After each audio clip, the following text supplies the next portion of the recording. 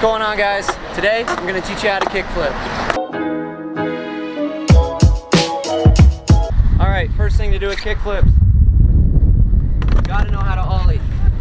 It's the foundation to every trick there is.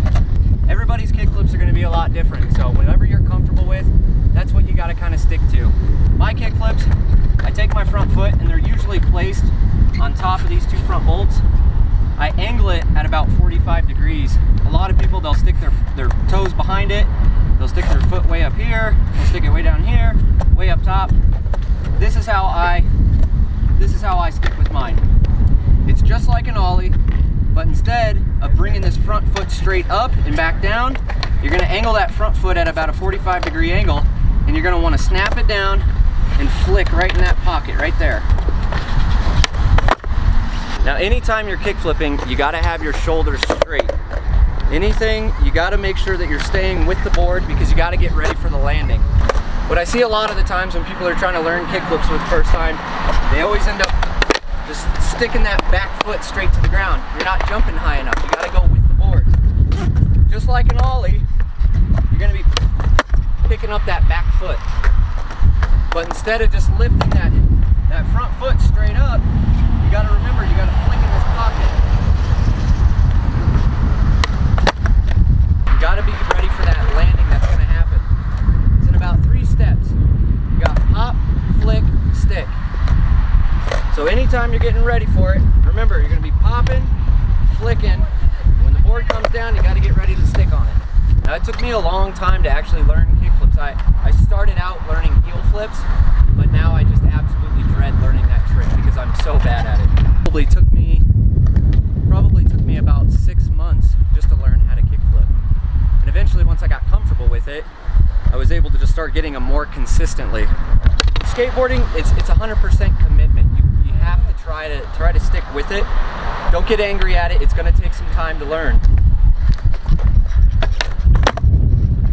Now just remember when you're learning how to kickflip, honestly my best advice, don't don't be sticking your board in a crack to where you're, you're standing still. Don't be trying to stand in the grass doing kickflips.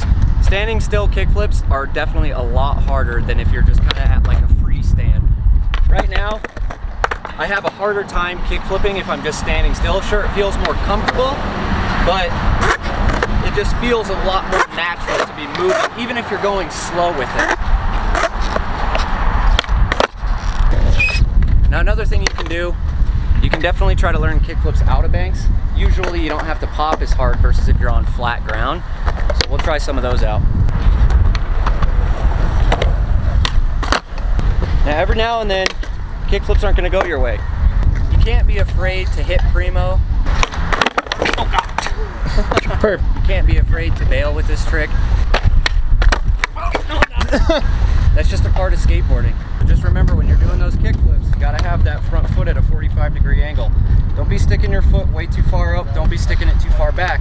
Having it too far up, you're not gonna be able to flip the board at all.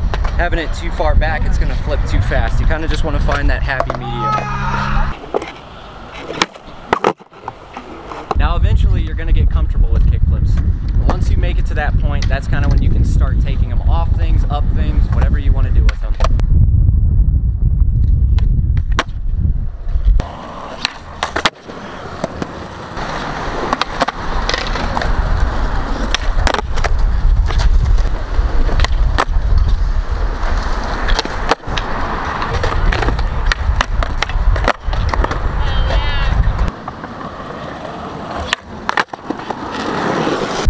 guys. Well, hopefully after watching this video, uh, hopefully those tips helped you learn how to kickflip.